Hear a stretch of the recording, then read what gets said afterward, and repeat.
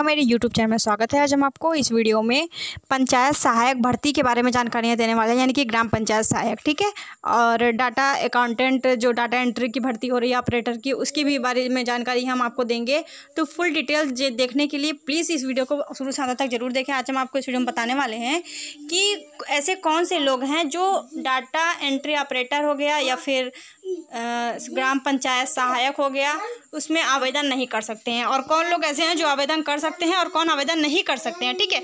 और हम आपको फॉर्म भी दिखाएँगे, पीडीएफ भी दिखाएँगे। पूरी डिटेल्स हम आपको दिखाएँगे। इसके लिए वीडियो पर शुरू से लास्ट तक बने रहिएगा। चैनल पर पहली बार आए तो प्लीज़ चैनल को सब्सक्राइब करें, वीडियो को लाइक करें, अधिक से अधिक लोगों के पास शेयर करें।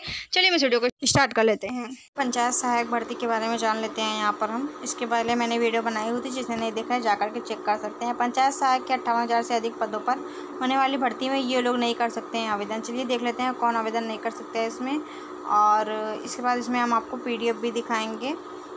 फॉर्म ठीक है? ऑनलाइन सॉरी ऑफलाइन आवेदन का फॉर्म जैसे कि आप देख सकते हैं, उत्तर प्रदेश के अट्ठावन हज़ार करीब ग्राम पंचायतों में पंचायत सहायक के पदों पर भर्ती होनी है। इसके लिए ऑफलाइन आवेदन की प्रक्रिया, पद्धति अपनाई जाएगी। इच्छुक उम्मीदवार जल्द से जल्द अपने प्रधान से संपर्क करें और आवेदन कर सकते हैं। और जैसे कि देख सकते हैं कि प्रदेश में जब से योगी सरकार की ओर से सभी ग्राम पंचायतों में पंचायत सहायक के पदों की नियुक्ति के लिए घोषणा की गई, ग्रामीण इलाकों में रहने वाले युवाओं में उत्साह की लहर दौड़ गई है। यही नहीं, शहरी इलाकों में भी रहने वाले अभ्यर्थी जिन्होंने दसवीं बारहवीं की परीक्षा पास कर ली है, वह भी इस भर्ती के लिए दावेदारी करने का मन बनाए बैठे हैं। लेकिन चलिए, आज हम इस वीडियो में जान लेते हैं, ठीक है? सारी डिटेल्स चलिए बताएँगे हम आपको। चलिए देख लेते हैं कि कौन कर सकता है इस भर्ती के लिए आवेदन पहले, ठीक है? आपको बता दें कि ग्राम पंचायतों में पंचायत सहायक के पद पर वे अभ्यर्थी ही आवेदन कर सकते हैं, जिन्होंने किसी भी मान्यता प्राप्त दसवीं और बारहवीं की परीक्षा पास की है। यहाँ पर टू नहीं लिखा हुआ है, ठीक है? बारहवीं होगा। और पास कर ली हो, जिसके लिए जिन उम्मीदवारों के पास कंप्यूटर चलन का ज्ञान होना, ज्ञान होगा, उन्हें इस भर्ती में वारिता दी जाएगी, प्रदान की जाएगी। साथ ही ऐसे अभ्यर्थी ऐसे सभी अभ्यर्थी जिनके अभिभावकों का निधन कोरोना काल में हुआ होगा, उन्हें सबसे पहले वारिता मिलेगी इस भर्ती में। बाकी जैसे कि देख सकते हैं, इस भर्ती के लिए आवेदन करने वाले उम्मीदवारों को उसी ग्राम पंचायत का निवासी होना चाहिए। ऐसा नहीं है कि दूसरे ग्राम पंचायत से हैं और आपने आवेदन कर दिया, ठीक है? चलिए। तो चलिए देख लेते हैं कौन आवेदन नहीं कर सकता है, ओके? ये देखिए, इस भर्ती में वे अभ्यर्थी आवेदन करने के हकदार नहीं माने जाएँगे, जिनके जिन्होंने न्यूनतम अट्ठारह वर्ष की आयु सीमा ना पूरी की हो, ठीक है? भले ही उन्होंने दसवीं और बारहवीं परीक्षा पास की हो, ओके? इसके अलावा उन उम्मीदवारों को भी इस भर्ती में शामिल नहीं किया जाए जो संबंधित पंचायत के मूल निवासी नहीं होंगे, ओके? इसके अलावा किसी भी पंचायत के प्रधान का कोई भी नाते रिश्तेदार पंचायत सहायक में आवेदन करने के लिए योग्य नहीं होगा, क्योंकि ज़्यादातर ऐसा होता है ना? लोग आवेदन तो जैसे कि आप देख सकते हैं ये रहा आपका आवेदन फॉर्म ठीक है? पंचायत सहायक accountant cum data entry operator हेतु आवेदन ठीक है? ये पंचायत सहायक का भी है डाटा एंट्री ऑपरेटर का भी यही फॉर्म है आपका। ये देखिए जूम करके हम आपको दिखा देते हैं ये देखिए देखा आपने? और तो इस तरह से आप आवेदन कर सकते हैं। आवेदन का नाम पिता एवं माता का नाम ठीक है? और सब कुछ यहाँ पर डिटेल देना है आपको। ओके, यहाँ पर फ़ोटो लगानी है। बाकी हम आपको चलिए और डिटेल बताते हैं। और ये रहा आपका अनुबंध पत्र। अनुबंध का प्रारूप। ठीक है, ग्राम पंचायत द्वारा चयनित सहायक, पंचायत सहायक अकाउंटेंट डाटा एंट्री ऑपरेटर एवं ग्राम प्रधान के मध्य अनुबंध हेतु तो अनुबंध पत्र का प्रारूप। ठीक है, यह अनुबंध पत्र है और यह अनुबंध पत्र रुपीस हंड्रेड के स्टाम्प पर निष्पादित किया जाएगा, इसमें लिखा हुआ है। यह अनुबंध आज दिनांक इतना पूरा यहाँ पर डेट लिखा जाएगा पूरा। यहाँ पढ़ सकते हैं आप, ठीक है? पूरी डिटेल्स। क्या क्या हम पढ़ के आपको बताएँगे यहाँ पर, है ना? तो चलिए यहाँ पर देख लेते हैं।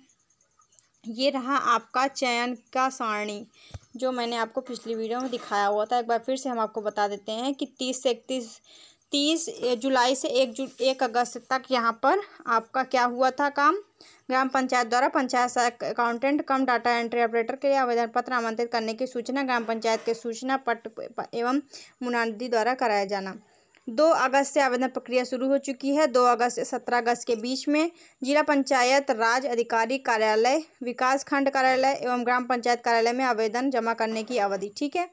और 18 अगस्त से 23 अगस्त के बीच में क्या होगा? जिला पंचायत अधिक, राज अधिकारी कार्यालय व विकासखंड कार्यालय में प्राप्त आवेदन पत्रों को संबंधित ग्राम पंचायतों को उपलब्ध कराया जाना, ठीक है? चौबीस अगस्त से इकतीस अगस्त के बीच में ग्राम पंचायत में प्राप्त आवेदन पत्रों की श्रेष्ठतम सूची, मेरिट लिस्ट तैयार करना एवं ग्राम पंचायत की प्रशासनिक समिति के समक्ष विचार, विचारार्थ प्रस्तुत किया जाना। समिति द्वारा अनुमोदित श्रेष्ठता सूची का जिला स्तरीय समिति के विचारार्थ समिति के सदस्य सचिव को उपलब्ध कराया जाना, ठीक है?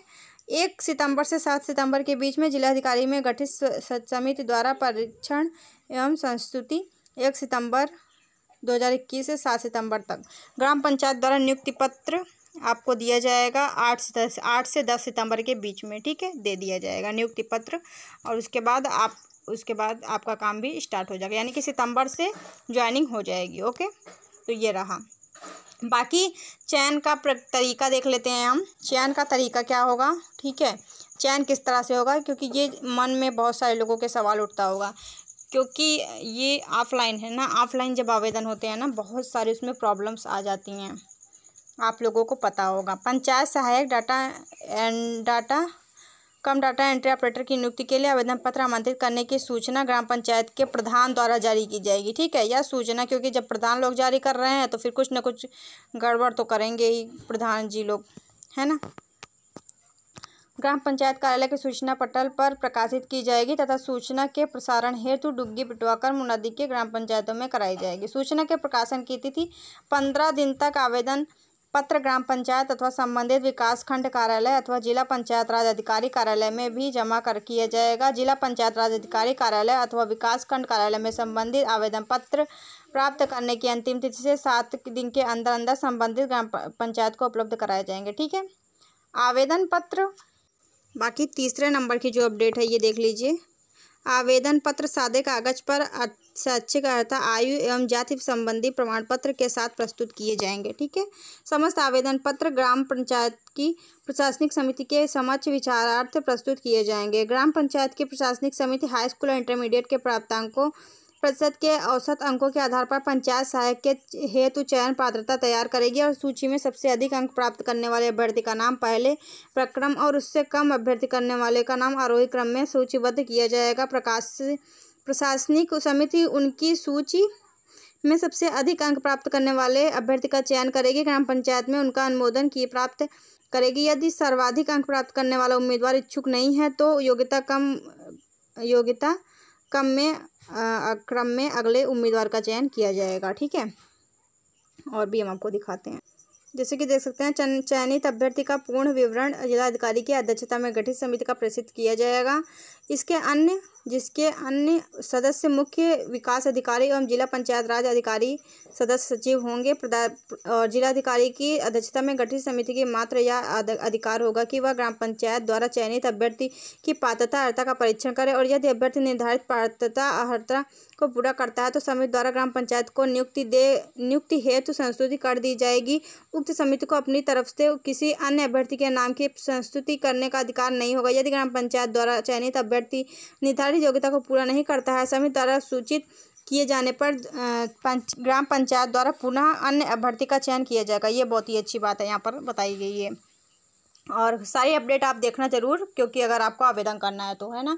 क्योंकि कोई अपडेट छूट गई तो आपको परेशानी होगी। ग्राम पंचायत अपने प्रस्ताव के मध्यम, माध्यम से उक्त प्रकार से चयनित व्यक्ति की सेवाएँ एक वर्ष की संविदा पर प्राप्त कर सकेगी। ग्राम पंचायत की ओर से ग्राम प्रधान द्वारा एवं संविदा पर रखे जाने वाले चयनित व्यक्ति द्वारा अनुबंध पत्र पर हस्ताक्षर किए जाएँगे। हस्ताक्षरित अनुबंध पत्र की जी, प्रति जिला पंचायत राज अधिकारी को रिकॉर्ड हेतु भेजी भेजी जाएगी। एक वर्ष की अवधि की संविदा समाप्त होने पर नया चयन उक्त प्रक्रिया के अनुसार किया जाएगा। साथ ही एक वर्ष तक कार्य करने वाले पंचायत कर्मी की सेवाएँ संतोषजनक पाई जाती हैं। तो ग्राम सभा की खुली बैठक में विचार करके पारित प्रस्ताव के आधार पर पुनः उसकी संविदा पर वर्षानुवर्ष नवीनीकरण अधिकतम दो वर्ष के लिए किया जा सकता है। ठीक है? पंचायत सहायक accountant data cum entry operator के आवेदन पत्र का प्रारूप संलग्न दो पर है। और चलिए देख लेते हैं। पंचायत सहायक, डाटा एंट्री ऑपरेटर, ग्राम पंचायत के मध्य किए जाने वाले अनुबंध संलग्न तीन संलग्न तो ये थी एक छोटी सी अपडेट। और आपको वीडियो पसंद आई हो तो प्लीज़ लाइक करिएगा। अगर आपका कोई क्वेश्चन हो तो पूछ सकते हैं और वीडियो को शेयर ज़रूर करें। Thanks for watching. Thank you.